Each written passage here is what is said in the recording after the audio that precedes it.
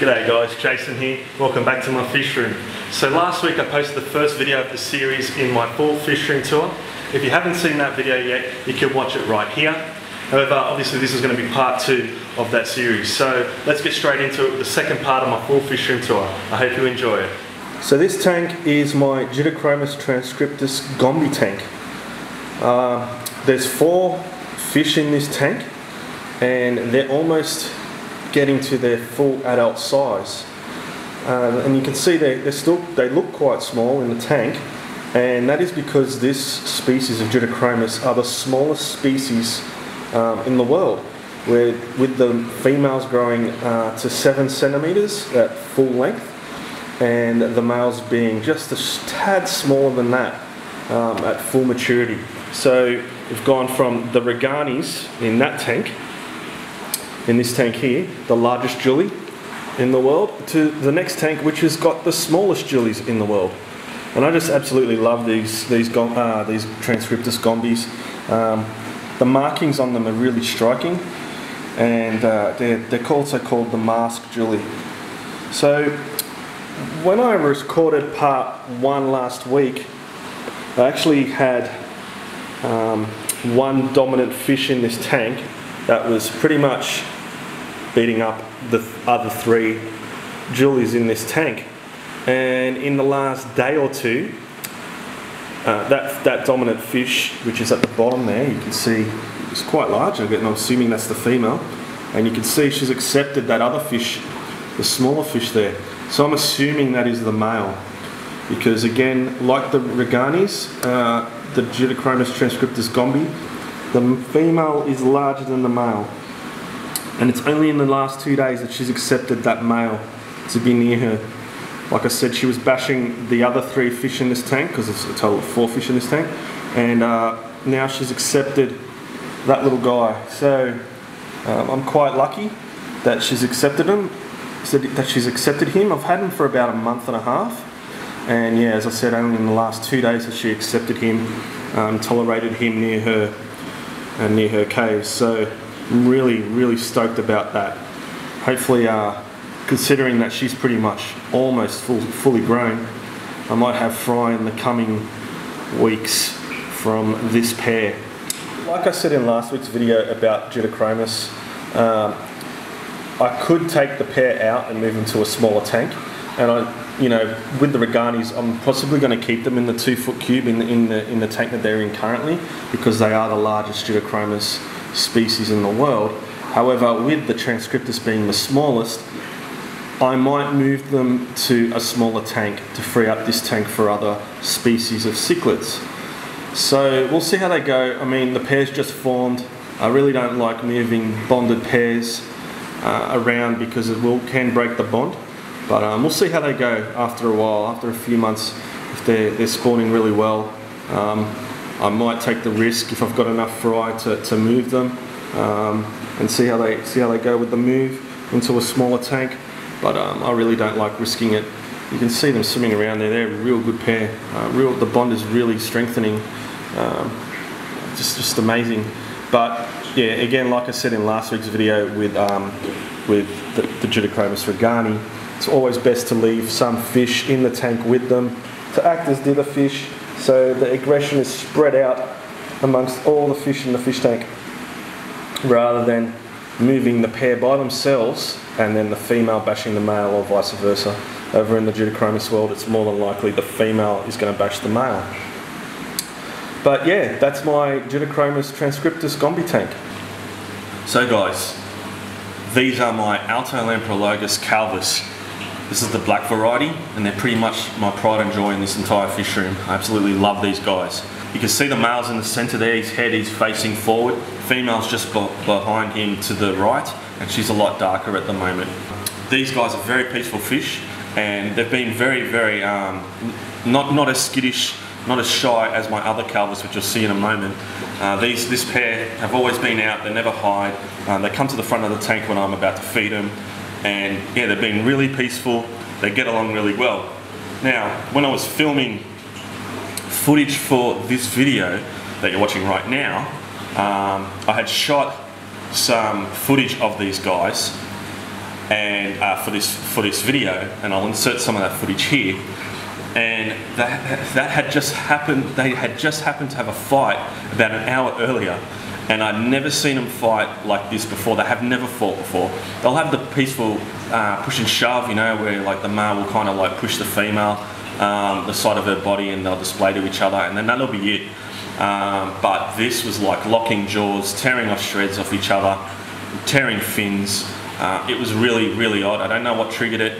Uh, although I did do a water change on the tank uh, earlier that morning, but these guys obviously have had water changes before, and that's never occurred before. So I'm still a little bit confused as to what happened, what triggered that fight.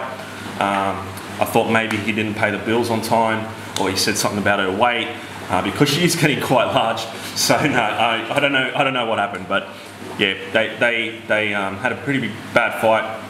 Female still recovering. You can see uh, her fin there is um, a little bit torn. He's taken a bit of a chunk out of it, but they are healing. They are recovering. They're, these guys are stunning looking fish. They've, they're they're pushing about three inches. Um, males um, pretty much three inches. Females maybe two inches, two and a half um, and they've got quite large teeth. You know, these guys are designed as ambush predators. Uh, they hunt fry in Lake Tanganyika, and um, their slim profile allows them to get into the little nooks and crannies and crevices in the, in the lake amongst the rocks to, to get fry. Uh, so, you know, even though they're a peaceful uh, cichlid, they are designed purely for predation. Um, they are a pretty, uh, pretty top predator in the, in the lake. They're very, very slow growing cichlids. Um, they take quite a few years to get to this size. I was fortunate enough to acquire an adult pair. They were sold to me as an adult pair, not as a breeding pair. So I don't know if um, they are going to be a true breeding pair, but I hope they will be because I would absolutely love to breed these cichlids. Uh, they are a challenging fish to breed. Uh, I've never bred calvus, uh, so it would be a first for me if I do succeed in breeding them. But yeah, I really would, out of all the fish I've got, these are the guys I really love to breed. So yeah, uh, that's my Altolamprologus Black Calvus tank. Okay guys, so this is my Altolamprologus Calvus white tank. So the white variety of Calvus. It's the last tank on the middle row in my fish room and it sits directly next to the black Calvus fish tank. Both Calvus tanks can see each other I've purposely done that so the white calvus can feel a bit more comfortable in this tank. So like I said about the black calvus, um, them being pretty pretty used to me and they're not shy, they're not skittish. These white calvus are very skittish.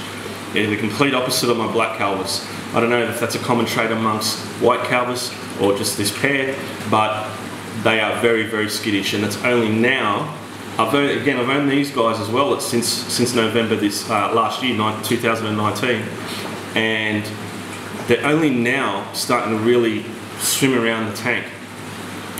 Um, I did have them obviously in a quarantine tank for a period of time and then I moved them into this tank.